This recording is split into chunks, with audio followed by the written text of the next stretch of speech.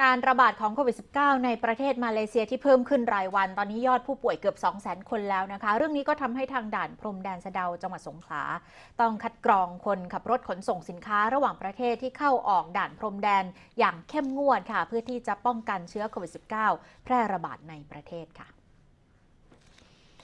แม้ว่ารถขนส่งสินค้าระหว่างประเทศที่ผ่านเข้าออกด่านพรมแดนอำเภอสะเดาจังหวัดสงขลาจะน้อยกว่าปกติ แต่ว่าคนขับรถบรรทุกสินค้าทุกคันที่เดินทางกลับจากมาเลเซียผ่านช่องตรวจคนเข้าเมือง ต้องตรวจวัดอุณหภูมิร่างกายเพื่อคัดกรองโรค และส่งประวัติการเดินทางให้เจ้าหน้าที่ตรวจสอบอย่างเข้มงวด เพื่อป้องกันโควิด -19 แพร่ระบาดในประเทศ หลังจากมาเลเซียมีผู้ติดเชื้อเพิ่มขึ้นรายวันทำให้ยอดผู้ป่วยใกล้ทะลุ 200,000 คน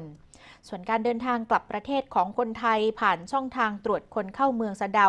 ขณะนี้พบตัวเลขการเดินทางกลับเหลือเพียงวันละประมาณ 20 คนค่ะ ก็ทำให้การคัดกรองทำได้รวดเร็วและละเอียดมากขึ้นเจ้าหน้าที่บอกว่านับตั้งแต่รัฐบาลอนุญาตให้คนไทยในมาเลเซียเดินทางกลับประเทศ ช่วงเดือนเมษายนปีที่ผ่านมา จนถึงปัจจุบัน มีตัวเลขคนไทยเดินทางกลับประเทศ ผ่านช่องทางตรวจคนเข้าเมืองสะเดากว่า 1,500 คน และพบผู้ติดเชื้อกลับจากต่างประเทศเป็นคนไทย 1 คน และผู้ต้องขังที่ทางการมาเลเซียส่งกลับมา 5 คน ขณะที่ชาวประมงบนเกาะปูยูตำบลปูยูอำเภอเมืองสตูลที่ยึดอาชีพทำประมงบริเวณน่านน้ำไทยมาเลเซียก็บอกว่า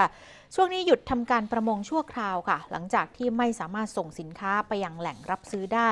และราคาสัตว์ตกต่ำจากผลพวงการแพร่ระบาดของโควิด -19 และหน่วยงานภาครัฐเองก็ยังไม่มีแนวทางช่วยเหลือทำให้ชาวประมงเดือดร้อนอย่างหนักในการประกอบอาชีพค่ะ